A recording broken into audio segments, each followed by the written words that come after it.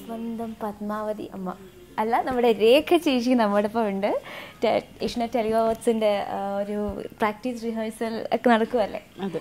Okay എന്താ ചേച്ചി ഇപ്രാവശ്യം ചെയ്യുന്നത് എല്ലാവർക്കും നമസ്കാരം. ഇപ്രാവശ്യം നമ്മൾ ചെയ്യുന്നത് വെസ്റ്റേണിലാണ്. ആഹാ. കാരണം യൂഷ്വലി എപ്പോഴും ഫോക്ക് നമ്പറാണ് ചെയ്യാറുള്ളത്.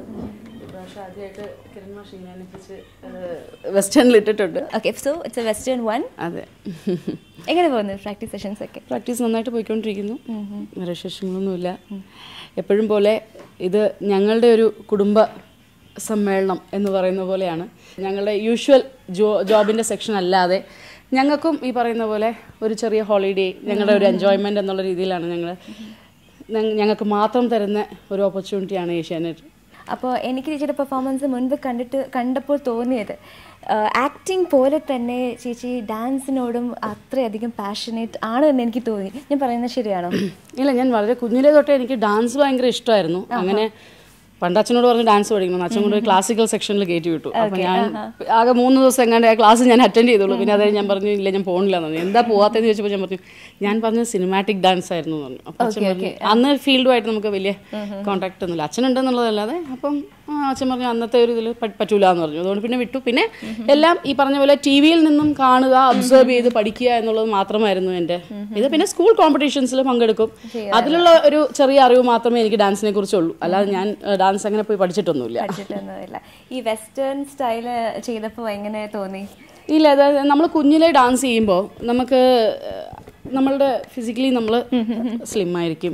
അന്ന് നമുക്ക് എന്തും ചെയ്യാൻ പറ്റും. ഇപ്പോ എന്ന് പറയുമ്പോൾ എല്ലാവർക്കും അറിയാവുന്നതാണല്ലോ. നമ്മളൊക്കെ നല്ല വലുതായിട്ട് വളർന്നു നിൽക്കുന്ന ആൾക്കാർ പക്ഷെ എന്നാലും ചേച്ചി വളരെ രസമായിട്ട് വളരെ ഈസി ആയിട്ട് ഫ്ലെക്സിബിൾ ആയിട്ട് ചെയ്യുന്നവരെ എനിക്ക് തോന്നി അങ്ങനെയൊക്കെ തോന്നും പക്ഷെ അതിന്റെ ഉള്ളിലുള്ള വിഷമം എനിക്ക് മാത്രം നന്നായിട്ട് എഫേർട്ട് എടുക്കുന്നുണ്ട് അല്ലേ? ആ അല്ല എനിക്ക് അങ്ങനെ ഞാൻ എനിക്ക് കുറച്ച് ഡിസ്കിന് പ്രോബ്ലം ഉള്ള ഒരു വ്യക്തിയാണ്.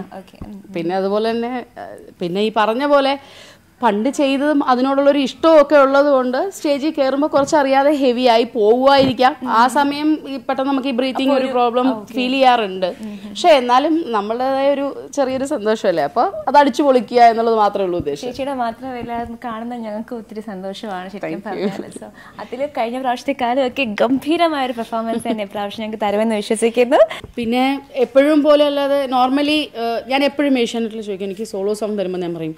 ഇതെന്താ എനിക്ക് സോളോ സോങ് തരുന്നതെന്ന് ചോദിക്കും. അപ്പോൾ ഞാൻ എനിക്ക് മാത്രം എന്താ പെയർ തരാത്തത് എന്ന് ചോദിക്കുമ്പോഴത്തേക്കും പറയും ഒന്നാമത് എന്റെ ഹൈറ്റിന് ആരും കിട്ടാറില്ല. ഒന്ന് രണ്ട് ഹൈറ്റും ഉണ്ട് സൈസും ഉണ്ട്. അപ്പൊ പിന്നെ എന്റെ കൂടെ ആരും നിർത്താനും പറ്റൂല.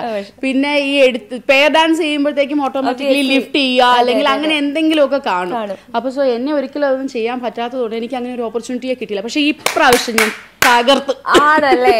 അടിപൊളി. ഇപ്രാവശ്യം എന്നെ അതെ കിരൺ മാഷിന്റെ നമ്മുടെ എനർജറ്റിക് ബോയ്സ് ഇപ്രാവശ്യം എന്നെ എടുത്ത് ലിഫ്റ്റ് ചെയ്ത് പൊക്കിയൊക്കെ മോളിൽ നിർത്തുന്നുണ്ട് പിന്നെ അല്ലാതെ വേറെ നമ്മുടെ യൂഷ്വലി വരുന്ന നമ്മുടെ അമ്മായിയമ്മമാർ ലിസ്റ്റിലും നമ്മൾ ഉണ്ടാവുമല്ലോ സോ അതുകൊണ്ട് ആ. ലിസ്റ്റിലും ഒരു ചെറിയൊരു പോർഷൻ ചെയ്യുന്നുണ്ട്.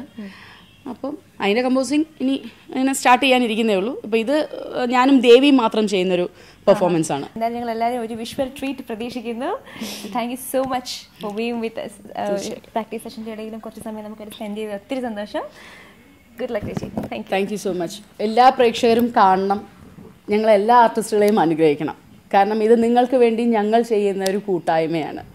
അപ്പോൾ എന്നും നിങ്ങൾ ഞങ്ങളോടൊപ്പം ഉണ്ടാവുമെന്ന് വിശ്വസിക്കുന്നു. നമ്മുടെ സ്വന്തം ഏഷ്യാനെറ്റ്.